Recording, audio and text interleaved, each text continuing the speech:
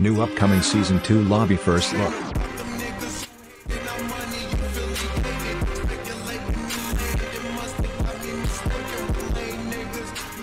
Please leave a like and share the video.